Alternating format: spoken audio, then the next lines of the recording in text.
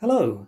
This video is a continuation of the previous one where I was talking about using Velostat, a pressure-sensitive material, to make uh, pressure-sensitive pads that could be used, for example, to create a velocity-sensitive pad for a musical instrument. And uh, here was the previous prototype, which is 2 by 2 centimeters. Uh, in size, it's made out of some sheets of rubber. Uh, if I take this top piece of rubber off, because it's just sitting on top at the moment, you can see underneath there is the Velostat. That's the filling of the sandwich, as it were. If I now peel that material oops, off the base, you can see here that it is just, if it focuses on it, a very thin piece of flexible plasticky material, very easy to cut, just use a paper craft knife for that. And that is now sitting on top of this other piece of rubber, also cut with the same uh, craft knife, uh, with some conductive uh, copper tape strips either side to produce the connection um, between the, the circuit and that piece of Velostat material. Uh, I had initially tried gluing it down with some conductive glue. That didn't really work, so I ended up scraping it off. That's why you've got this sort of horrible discoloration there. Uh, but the prototype pad worked quite well, so I thought, well, uh, let's see if those results are repeatable. And as you can see here, I now have uh, these eight pads and, of course, a spare here. Uh, one uh, very obvious thing about the new construction is that it's quite a bit bigger. This one is 3 by 3 centimetres and it's using 3mm thick rubber sheeting instead of the 2.5mm thick rubber sheeting used in the prototype. Um, still got those little leads soldered on the end there, so I can plug that into the breadboard here with these eight here. Uh, the other big construction change, uh, difference rather, is uh, I've glued the whole thing shut. I've put um, some super glue on the sides here, bit of cyanoacrylate that I just held the thing together, put the super glue on, and then spread it out with a cotton bud, and that's on the two sides like that. You can see it's sort of reflective because it's got that uh, shiny cyanoacrylate dried super glue on it. There's no glue on these sides, just on the sides here with those conductive strips. Um, but as you can see here in circuit, uh, whereas the previous pad was measuring uh, around 15 to 20k, when there was no pressure on it, these pads only measure 9k. And if I press it down, you can see that goes down to about 6k. And the previous pads were measuring about 4k when under pressure. Now, I was expecting a higher resistance uh, when the pad is being pressed, or just a higher in gen uh, resistance in general, because they are larger. There's more material for uh, for the current to flow through. There is a, you know, a higher resistance there uh, but I wasn't expecting the released resistance to actually end up being lower. And I think the reason for this is because these are glued shut, rather than the previous one, which was just lightly taped shut, uh, that means that this sort of neutral position is held down much more firmly, and you do end up with a lower resistance.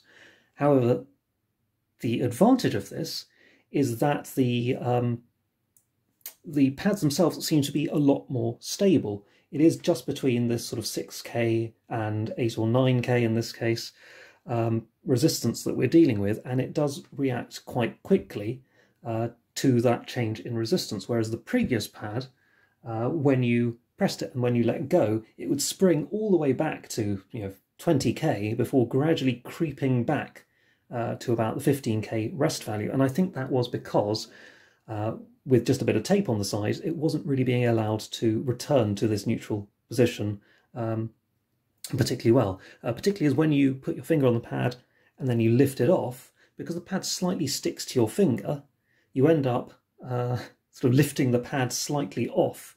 Hence, I think, that, that lower resistance. With these pads now being glued instead of taped with a gummy, uh, gummy sort of glue, um, I, I think that works a bit more reliably and it certainly seems to in my testing. Um, but say that's just this here on a breadboard. Uh, how does that, and measuring the values directly with this multimeter, how does that work in uh, a circuit that's translating this pressure into MIDI events? So uh, here I've got the eight pads connected to this microcontroller circuit, and that microcontroller is acting as a USB MIDI device, and it's constantly monitoring the state of these eight pads and determining when to send note on or note off events. Now, before this can be used uh, to, to send those events, it needs to be calibrated because each of these pads is somewhat different to the other. They've got different off resistances and on resistances. So to calibrate that, I first need to start by setting the uh, off resistance by pressing this button here, and that does it for all eight pads simultaneously. And now that it knows what the off resistance is, it can determine when you're touching any of the pads, and from that calibrate the maximum pressure value. So here I'm just going to start with this one. And that's now calibrated. So if I now let go, it stops the note. If I tap it, you can hear it plays it. If I tap it hard, it's a bit louder if I tap it gently. It's quieter. So that's much the same as the previous circuit. And uh, next thing I need to do is just calibrate all of the pads.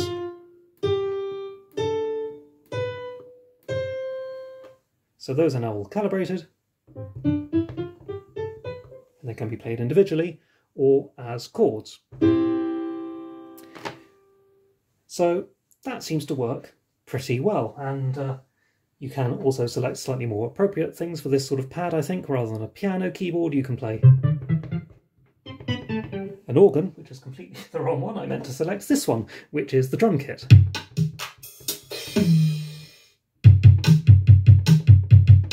And that seems to work all right. If I just return back to the piano because it's a bit less uh, abrasive, um, you will notice though that there is a slight problem there, or rather I will notice this because I've got this in front of me, is that if I tap a note very quickly, it doesn't seem to register well, there it is, but uh, quite often, particularly if you hit it uh, very quickly and very lightly, it doesn't seem to register. However, if I still press it very lightly but hold, it still plays fine. And I was trying to figure out why this might be happening. Is this uh, is it the larger, thicker rubber that I'm using for the pads? Is that making them less sensitive? Is it the fact that I've glued it down the side? Is that making them stiffer and less responsive? But uh, ultimately, I don't think that's the problem. I don't think the problem is with the pads themselves. I think they're performing brilliantly. I think the problem here is the speed of the microcontroller. You see here there are eight pads with eight analog values, and they're connected to the eight analog inputs on the microcontroller, but it's only actually got one analog to digital converter inside it. And so what it has to do is it has to switch between which of the uh, particular pads it's sampling at any one time via a multiplexer. So the, the sampling rate is an eighth of what it was before, and I think it's this greatly reduced sampling rate that is causing it to miss very quick, very light note-on events. And uh, I went and tried to optimize the code as much as I could. I tried to make sure that I was sampling as quickly as I could.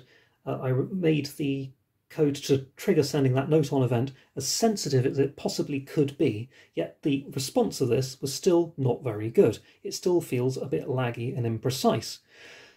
So I then changed it so instead of checking all eight pads, it only checked the first four, and that instantly made it better. And in fact, changing it to two made it even better still. And then going back to only checking the very first pad made, made it feel a lot more accurate, made it feel a lot more sensitive, and it never missed a tap, no matter how fast uh, or light it was. And I think this ultimately is going to be the limitation of the project, is the fact that this microcontroller can't sample all eight pads quickly enough.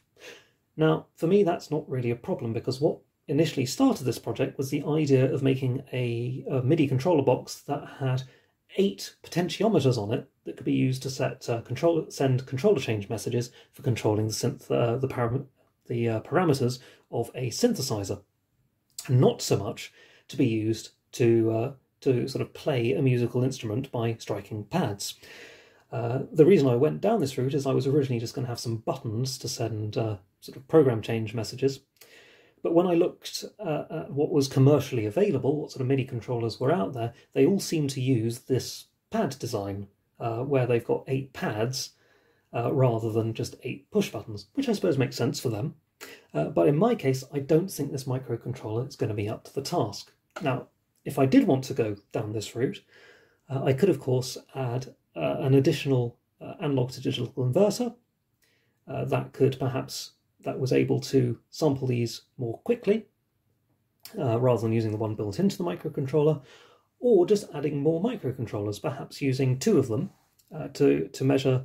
Um, you know, each one measures just four pads, or four of them to measure just two pads each, or even a separate microcontroller for each pad. That would be the uh, the most performance, but of course the most expensive. You would of course not use a big microcontroller like this. You'd use uh, small smaller microcontrollers just uh, to measure each one. But uh, but uh, yes, as I say, this this doesn't really affect my project as a whole because I'm probably not going to be using these pads in it anyway. I just thought it was an interesting diversion to have a look at the properties of this Velostat material, and I think the um, the actual construction of the pads themselves, I think that idea is going to work pretty well. I think that that can uh, that can be used as a pad, uh, just maybe not with this microcontroller with this many pads at once. Anyway, thanks for watching. Um, maybe maybe that's uh, been interesting or given you some ideas for another project. But uh, anyway, catch you in the next video.